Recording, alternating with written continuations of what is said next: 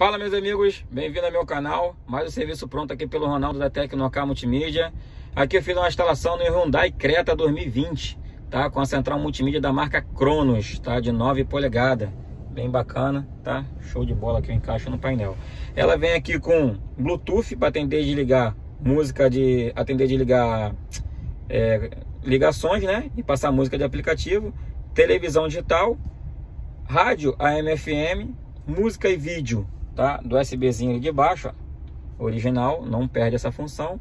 Spotify e aqui no meio é para poder acessar todos os aplicativos, tá? Aí ele vem aqui com a, como eu tinha falado antes lá, com Bluetooth da parte de contato. Aqui seria da parte de música, auxiliar, que é aquele lá embaixo também. Assistente touch, tá? Vem aqui configuração aqui, equalizador de som. Waze Connect seria espelhamento de celular configuração da tela, Color seria essa configuraçãozinha aqui dessas cores laterais, tá? Google Chrome, Car 7, alguns carros que puxam informação para dentro da central, você consegue acessar por aqui, tá? Vem com GPS Brasil, que é um GPS offline, Google, Globosat e gerenciador de arquivo, tá? Arrastei para o lado aqui também vem com YouTube, vem com Waze, essa configuração aqui de volante seria essa do carro aqui, que também não perde, tá? Tudo plug and play, continua funcionando lá. Tô aumentando o volume e abaixando.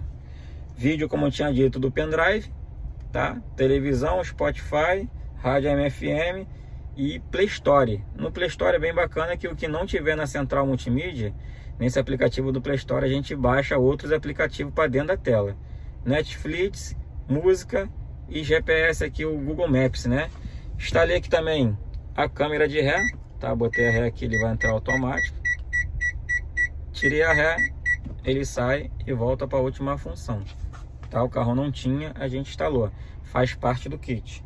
Voltando aqui em casinha, arrastando de cima para baixo também, a gente consegue ver aqui, ó, o Wi-Fi, né? Aí para poder conectar é só apertar e pressionar.